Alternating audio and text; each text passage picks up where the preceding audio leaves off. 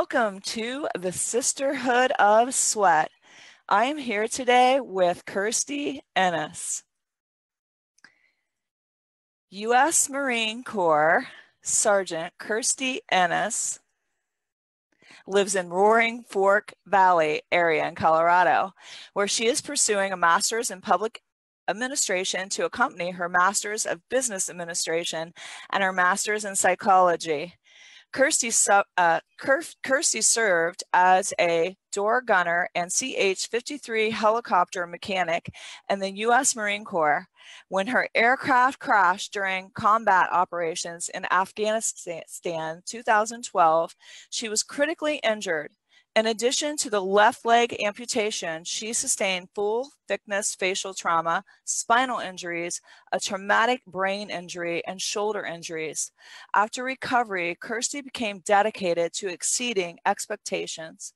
She works as a stunt woman in major motion pictures, a veterans advocate, and as an adaptive extreme athlete.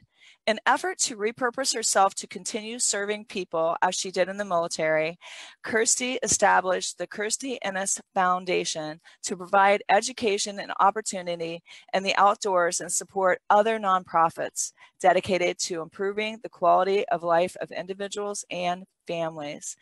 There's so much to say about Kirstie, but we have a short amount of time today. So I just want to dive into the interview, but you guys can catch her full bio on iTunes on the Sisterhood of Sweat. Without further ado, I want to welcome the one, the only Kirstie Ennis to the Sisterhood of Sweat. Well, thank you for having me. That was uh, that was quite the introduction. I appreciate it. well, you are quite uh, the inspiration uh, I guess, uh, kill all excuses for all of us. Um, and I'm just, I'm so inspired by how you went through something so challenging, so much adversity, 38 surgeries, and you have made your life into something beautiful. I don't even think of you as an amputee. I, I kind of want to dive into your story for people. Uh, if if you could tell the story of how you crashed in the helicopter and kind of just go through how why you were even there in the first place.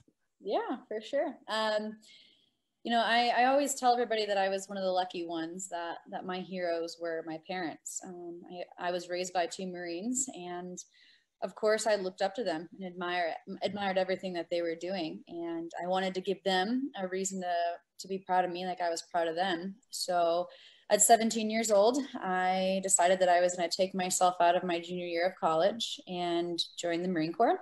Uh, I got an age waiver, lied through my teeth to tell, um, or lied through my teeth to my dad, saying that I would do a desk job to get him to sign the paperwork. And lo and behold, I ended up being a 50 caliber machine gunner on the helicopters and turning wrenches to maintain the helicopters. Um, I ended up doing two deployments to Afghanistan. The first one went uh, fairly smooth, all things considered, and um, the second one not so much. Um, about five months into my second deployment, um, we were meant to be going outbound to do a combat resupply mission and in turn to extract some Marines that had gotten into a, a pretty bad situation. And unfortunately, we never made it to those Marines. Um, it was pretty late on the night of June 23rd, 2012. And the last things I remember was my tail gunner calling for power. And by that, it means to, to level off the nose of the aircraft because we were uh, pointing down into the ground. And next thing I know, the helicopter came nose up and rolled rolled left. And with me being on the left side of the aircraft that night, I just stared at the ground um, until we hit it.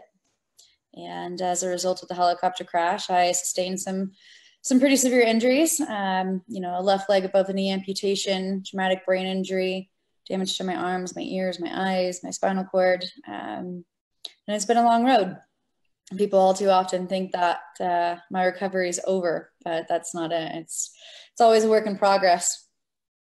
So, what was going through your mind uh, when you knew that the crash was imminent, that you were indeed going to be fully gun you're strapped to a gun and you're you're going to crash you know i don't i honestly people ask me all the time, you know, what was going through my head. And I honestly, I just counted until we hit the ground. And even after we hit the ground, and even after my entire jaw was shattered and I could fit my fist through the lower right side of my face and, you know, the severe pain and everything that was going through my head, I don't think I realized that I was going home. Um, for whatever reason, in my mind, even after I got hurt, you know, they were going to sew me up and I was going to go, you know, right back into the fight. I was going to stay uh, with my guys. And, yeah, it didn't really hit me until they threw me onto another aircraft and brought me to the makeshift hospital in the in the middle of Afghanistan. And my gunnery sergeant and my sergeant major walked in, and they were both crying. And that's when I had the realization that like, I was actually hurt, and um, that this was going to be the defining moment in my life, more or less. And um, I think the biggest part that I struggled with wasn't necessarily the the physical injuries, but more so um, realizing that I was going to lose my purpose. You know, joining the Marine Corps at 17 years old, that's all I knew. And I loved it. Um, I, I, had no intention on getting out of the military. So that was probably the toughest pill to swallow um, was, was being stripped of, was being stripped of my purpose and then trying to come to terms with the injuries that I had, you know, physically, mentally, and emotionally. Did you feel like you were stripped kind of like of who you are or who you were like you know at that time like an athlete a marine your whole identity? Oh absolutely. Uh, you know like i mean that's who i was. Uh, you know we say that i bled green. Um, you know i i was combat meritoriously promoted to sergeant and i wanted to ride that wave for as long as possible. I was i was intending to get back from that deployment go to the drill field um, you know to make marines and then I had every intention on putting in my package to go the pilot route. Um, you know, I, I, had I had my future lined up and planned and mapped out, and and yeah, that I mean, I do. I feel like it was stolen from me in some ways. Why do your friends and family call June 23rd your Alive Day?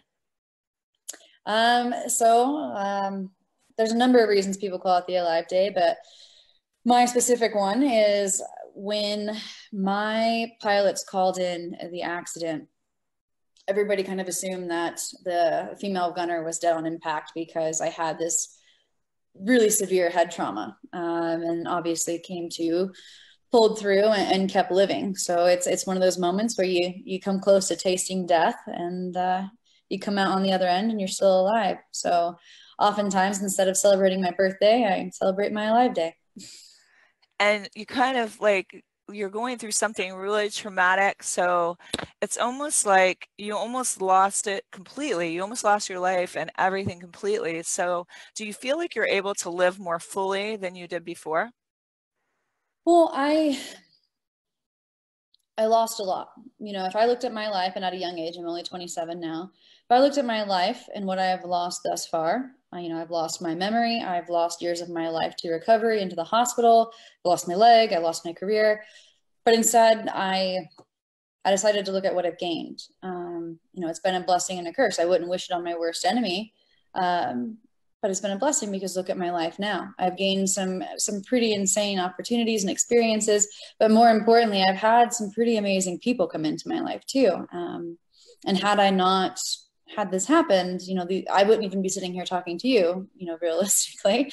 Um, and so I, I just, uh, a whole new life perspective, you know, I live my life totally differently than, than I did before. So what have you found to be true about yourself through all of this 38 surgeries later um, Brazilian as hell, I, I gotta say. What have you what have you found to be true about you? Uh you know the biggest things is like I said, it's just it's just how I live my life. You know, I joined the I joined the Marine Corps to serve people, but I can honestly say that, you know, I've been through hell and high water and the darkest moments of my recovery. I realized that I was being selfish and I couldn't live for myself that I didn't want to live for myself. Um, I was quick to throw in the towel on my first alive day, actually. And now I look at myself and the days that I do have, you know, a rough time or I'm in pain or I'm struggling, I look around me and, you know, I recognize the fact that I want to live for my family. I want to live for the people, the other people who are struggling, or the men and the women that never came home. Um, so, you know, I learned a lot, a lot about myself in the sense of, of, of how significant, um, you know, the people, the friendships, and the relationships I guess that you have in your life. Um, yeah, I wouldn't I wouldn't be where I am without those people. I'd love to sit here and say that I'm strong and I did it by myself, but that's not the case. well, I know like I mean even with my hamstring like reattachment surgery which I had, which is like the whole reason why I even knew who you were. My mother brought over this guidepost. Oh yeah. yeah. And I'm like, I was kind of like a little bit down, you guys, and I was on pain meds and I went from running and competing a million miles an hour to a screeching halt. And um so I was like, well, what does my mom want me to get out of this? I'm looking at it, and the first thing I see is how a church and a mosque came together, and I'm like, oh, that's an inter like, okay, how did that happen? And then I look, I'm like, oh, your story really caught my eye and I dove into it and I started reading it and I was just so inspired truly and motivated that you know how we feel like uh, I don't know sometimes that our life it, our body is our life like if especially if you're physical and it just made me realize that my life wasn't over just because I couldn't do all the things that I did in the past. I don't know what I'll be doing in the future, but just knowing that there was more to us than just our bodies. How did you pull that out of yourself to where it was more like I think I feel like it's like sheer will that you just made a decision. Yeah, well, honestly, when I was in the hospital, my doctors thought that I could just take a happy little pill or, you know, all of my healing would take place inside four walls. And I recognized the fact that it wasn't working. Um, it wasn't working for me and it wasn't working for a lot of other people. Um, so I, I guess just being tired. I was exhausted um, trying all these different therapies and recoveries in the hospital. I, you know, I kind of just dumbed it down. Um, you know, I was like, all right, well, what's what's right in front of us? that can help me. And I just started going outside and spending a lot of time outside and then um, trying sports that I never even really knew existed. Um, you know, I'm originally from Florida, so don't know anything about snow or the mountains. but I took up snowboarding and um, fortunately I excelled in it um, pretty quickly, but trying something so far out of my wheelhouse and something totally new gave me that confidence that I could go out and do anything. So once I started dabbling with something that was, you know, ultimately foreign, a foreign sport to me, I, um, you know, I started looking, you know, like a bigger picture. I started looking to the mountains. I started mountaineering, started rock climbing, started ice climbing. So, you know, and people, you know, when people are having having a hard time with the recovery. That's what I always, I really encourage them. A, just spend as much time as possible outside. You know, get away, get away from the phone. You know, the phone's my nemesis. I, you know, I'm on it constantly. But um, you know, I try to make time just just to be outside. And um, and again, go out and try something new. You know, it doesn't necessarily have to be a sport, but but something that you know that's something that you would never imagine yourself doing anyways. Well, I love the fact that you are here you are you're you're you're all these you know all these things have happened to you you've had more surgeries than most of us will have in a lifetime i'm sure and you're you know you had your leg taken off and not just once but like then you had to have below the knee then above the knee which is much harder to deal with. Um, and here you are you're like climbing a mountain summits. Like most of us don't even want like a lot of us i want to climb a mountain but a lot of us out there do not want to climb a mountain or snowboard you know what i mean? We'd like to watch someone else do it. So i think it's pretty amazing that you turned your adversity into you had this courage to go and do things that are still probably somewhat dangerous. Tell us about some of your uh, your treks in the mountains and what that was like. Yeah, I um so I guess for the last couple of years, I decided that I was going to climb the um, tallest peak on each of the seven continents, and you know I never wanted it to be about like look at what I can do on my one leg or you know me beating on my chest saying, you know I'm Kirstie, hear me roar or anything. Um, I, I wanted there to be heart and meaning and passion behind it too. So I started dedicating um, nonprofits behind each climb. Um, it started with the highest point in Africa when the Waterboys actually reached out to me and said, "Hey, how do you feel about how, how do you feel about climbing Kilimanjaro with us and uh, and fundraising for clean water for the East Tanzanians?" And I fell in love with the idea, um, and that's really just when hook, line, and sinker. I decided that I was going to keep going after the big mountains. Um, and so since then, uh, that was in March of 2017. Since then, I've climbed the highest point in Oceania uh, down in Indonesia called Carstensz. Uh, did that in conjunction with the Heroes Project. Um, climbed the highest point in North America. Have to go back to, to actually summit. Um, uh, better known as Denali, in support of the nonprofit Building Homes for Heroes. And I actually just got back uh, from Russia climbing the highest point in Europe in support of a nonprofit called Glam for Good. Um, wow, what was what was that like? What was your experience like since it was so recent in your mind? Um, you know, it was, it was actually a pretty brutal uh, last summit day. You know, I I'm addicted. Honestly, addicted is a word now. Uh, like I'm I understand. It's like an adrenaline junkie, sort of, right? Well, I'm good at climbing mountains because I forget how bad it sucks. Like, luckily, I have really bad memory, so I can just keep going after it. Um, but it, it's miserable, and in the moment, um, you know, I'm my own worst enemy. I beat myself up. We we tracked for 15 hours that day just to make it to the top, and negative nine degree uh, temperatures. Um, just a long day, bad weather rolled in, super high winds, and the whole time, you know, I I'm really, really hard on myself. You know, I'm not moving fast enough. I'm not moving, you know, you know, efficiently, or I'm in pain, or you know, all sorts of things go through my head. Or obviously, the biggest one, like, what if I don't summit? Uh, you know, how are you going to bring that home?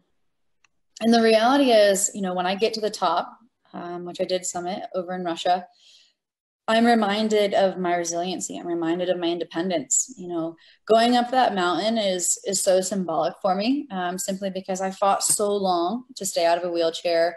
You know, to live, uh, you know, an independent life as a woman. You know, you know, utilizing my prosthetic as a tool and not just letting it define me. And um, it's a pretty emotional experience, really. I feel like I think I think we all have our own personal summits that we're chasing, and and uh, mine just happened to be on some of the highest points in the world. yeah. What type of workouts do you do to uh, to do climbs like that and just to be snowboarding and what type of workout do you do? Do you do it in the gym? Do you do it outside? Well, a lot of it, um, you know, to be to be efficient in the mountains and at altitude, you honestly just have to have time in the saddle. You have to spend a lot of time in the mountains and a, and a lot of time uh, breathing with pretty low oxygen. But I do a ton of um, like interval training to get the heart rate up and then to make it drop back down real quick again, then make it peak again. And um, I also do a, quite a bit of, of strength and conditioning. Uh, the biggest thing is I'm, I, I, really try to focus on keeping what muscles I have left in my, um, my residual limb on my left side um, keeping those strong in the gym um, because obviously not having a quad or a hamstring, uh, it's it's a huge uh, it impacts everything quite a bit. So I really try to keep the left side strong, keep building up the left glute, um, and and my back my back takes the beating. So I really put a focus on that. Yeah, you just basically work around it and just do what you can.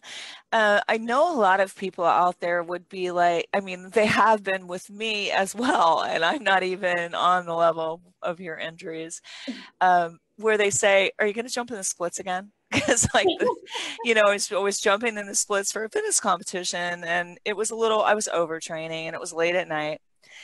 And so I was a little dehydrated, so I popped my whole, like, whole entire hamstring. Um, so basically, I, yeah, I want to again. I mean, so where do you, where do, what do you, you know, do people say to you, Kirstie, like you could get really hurt or you could, you know, are they like cautioning you? Yeah, you know, people warn me left and right. You know, my mom and my dad hate that I climb these mountains and half the time that I snowboard these big mountains and stuff. Um, but you know, it's you got to do what makes you happy. You know, I I've come so close to death um, a couple times now that you know if I I do run the risk of serious injury and death on these mountains, especially like when I go climb you know Everest in the spring. but the reality is is if something's going to happen to me i'm a firm believer in fate and if i'm going to go out that way i'm meant to go out that way and you know what i'm going to die living doing what I love sense. that. I love that. and that's exactly how I feel. It just lights me up inside to do challenging things and I can't imagine a life without it. And so I I, I see myself jumping in the splits again. Good, yeah, absolutely. but uh, I was thinking, I, I, was looking into this climb. Lewis Howes from the School of Greatness had mentioned on his podcast. Jesse Itzler has this this climb. It's a it's kind of like a vert. It's a real climb, like doing Everest, but it's. Have you heard of it? I think it's something like, oh man, it's some kind of weird name like 902 two hmm. nine it's some kind of numbers but basically what it is is this experience where they have all these people helping uh you know like that are professional climbers and you climb a mountain in vermont i think it was called oh man oh, I can't remember the name of it. Stratton, I think is what it was. Hmm. Um, and you know, they climb it over and over so many times. Like, I don't know how many times it gets to be but it's quite a few, like 36 times or, yeah. you know, a lot. And so uh, a participant could get the experience of climbing Everest without climbing Everest. Gotcha. So I thought about trying it. You've motivated me. I'm like, well, I thought maybe instead of competition this year, I'll go do that thing and see what that's like. Yeah, no, I definitely encourage you to. You should. I find that it gets me through to be thinking about not now when it hurts and it's so hard, but later on in the future. Did setting goals help pull you through when you were like rehabbing? Uh, what what pulled you through? You know, I'm going to tie it back to the people again. The people really pulled me through. Um, but I also, you know, I think milestones are huge. I think all too often we get so fixated on the end goal that we miss the entire journey to that point. And I do. I, you know, I'm I'm a list person. I'm super goal oriented, super task oriented. I love the feeling of marking something off of a list. So I do. I, you know, whether it's a small goal for a day or if it's a goal for a month or goal in training, I I'm constantly doing that. Um, you know, I I think goals make people uncomfortable because the what if of, you know, maybe not getting to that point or not meeting your deadline or whatever it is. But you have to be uncomfortable to grow. If you're if you're not uncomfortable, you're not growing, you're not evolving, you're not changing. And I think kind of the same thing that I mentioned, you know, we can get super fixated on the things that we don't reach or we can look at how far we got along the process of, of getting to that goal.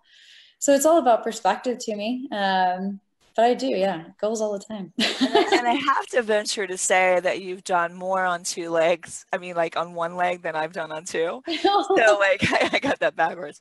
Um, and and I'm just like, how like you, you went from you know having all the, this dramatic um, injury and just hardship and then you became a stunt woman in movies and um, how did that how did you end up doing that? You know, that was just a, a right place and the and the right time uh, at the right time kind of thing. I was spending a lot of time in Hollywood and I had some friends that knew that I still was an adrenaline junkie more or less and they were looking for people to to be in you know to do the movie scenes of car crashes and explosions and pyro and stuff like that and I said absolutely sign me up so I just jumped right into it so what would you say uh, what movie were you in and what was your like biggest stunt? So the i guess the the biggest one that you could go out and find was patriots day with mark Wahlberg. Um, and as you can imagine with being an amputee i was the stunt woman in the bomb blasts. Um, so took the blasts and in turn lost my leg in the movie so. Oh my gosh! Now that now did that kind of? I mean, I don't know, but when what seems like very similar. Did you have some emotional moments? Oh, absolutely. Well, that's why you know the irony irony in it is is uh, pretty significant. So of course, you know, while I'm doing these stunts, so I have to be screaming and crying and, and acting. Um, as you know, as they throw me into the back of the ambulance or whatever different you know part that we're doing, and those are real tears because it is. It becomes very very real very quickly when you're covered in blood all over again and you have um, you know you know special effects and stuff on your on your residual limb to make it look like it was just blown off and your clothes are ripped apart and everything. So it um if you see me crying in the movie those are real tears. Those are definitely not uh, oh my gosh. fake alligator tears. So this movie came out when? When did the movie come oh, out 2015 2016 okay I don't know if I've seen it. I'm definitely going to have to because I'm a huge Mark Wahlberg fan. I really like uh, his movie The Shooter and some other movies. Yeah. Um, and so, did you get to meet Mark? Oh yeah, yeah. That's cool. Yeah, yeah good dude. I, I really like him actually. So you, so you had some pretty cool experiences along the way. What what is uh? You've got this foundation, the Kirstie Ennis Foundation that's that's pretty cool in itself. What is your mission for your foundation, and why did you create it? Ultimately, um, I founded it just to legitimize what I was doing. You know, I've dedicated my life to raising awareness and fundraising for deserving nonprofits, the nonprofits that are out there that are truly doing what they say they're doing and helping the communities that they say they're helping. Um, and I guess as I was going through the hospital, I recognized the fact that uh, the nonprofit world is is uh, a pretty finicky place, and there's a lot of a lot of frauds out there. And so I wanted to to help the ones that were you know that are real, the ones that are actually helping. Um, and that's why I started the mountains. And ultimately, in my nonprofit, uh, we financially support other other deserving nonprofits um, by fulfilling grants. And then we also do individual scholarships and do um, provide education opportunity and, and, healing in the outdoors. So we provide different things like clinics for the disabled or veteran populations or women. Um, we do different events like children's climbing events and, and rock climbing gyms and whatnot. Uh, it's just exposing to people to the opportunities that they, they may never have otherwise. How can people out there support you? Yeah, definitely. Um, just check out our website, KirstieEnnisFoundation.org, or just follow along on social media, where the Foundation is on Facebook and on Instagram. And what would you say to somebody out there today that finds herself in a situation that they feel like they've lost their way or they've lost you know some part of themselves or they're suffering from major adversity what would you say to them to kind of light their way and give them some inspiration my personal mantra with dealing with everything that i did um, was it's the six inches between your ears and what's behind your rib cage that dictates what you're capable of you control your circumstances they don't control you I love that. I love that so much. What are three tips that you can just leave today for everyone out there? Um, just in general, just like living their life. Well, the first one would be reflect on what you have, be appreciative of what you have. Always give more than you receive, um, whether that's time or resources or energy. It doesn't necessarily have to be money. And, um, you know, reach out I think the biggest thing that I've gotten away from, and uh, totally guilty of it, is you know I don't reach out to a lot of my Marine buddies, or I don't reach out from my friends from childhood, and you know I kick myself in the butt for that every day um, because those people, like you were meant to live your life for other people and for those friendships and relationships that you have. So cultivate them, coddle them, love them. I love that. That's mm. awesome. Well, I have so enjoyed having you on, and I just want to acknowledge you so much for serving for the country and having courage and you know just pushing through adversity and being a role model and a hero to us all. Well, thank you. I appreciate that. It was an honor to serve, and I don't know, doing the best I can with what I got and trying to help everyone I can along the way. Well, you, were amazing, and I'm amazed and inspired. Uh, where can people reach you again on social media? Yeah, track me down on uh, Facebook, Instagram, and Twitter. It's just my name, Kirstie Ennis. Thank you so much for coming on today. I was so honored to have you as a guest. And thanks everybody out there for listening. And make sure to review Kirstie's story in iTunes and give her some love. Thanks, everyone.